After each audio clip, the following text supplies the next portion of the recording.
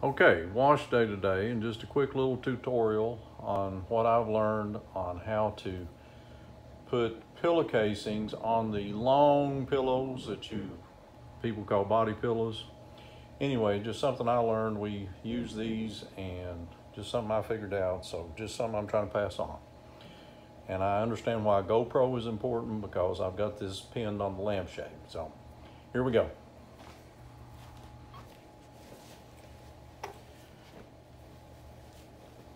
Course, the casing long, the other way to do it is, of course, you slide it in there like this and end up shake, shake, shake, shake, trying to get it in there. So this is just an easy way to do this. First thing you do is turn your pillowcase inside out. I know that sounds a little crazy, but maybe it'll make sense. So you turn your pillowcase inside out.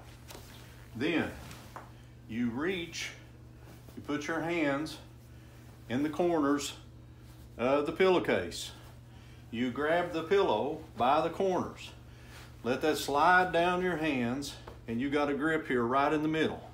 Then you simply just pull the pillowcase down until it is successfully on the pillow. Voila. Thank you.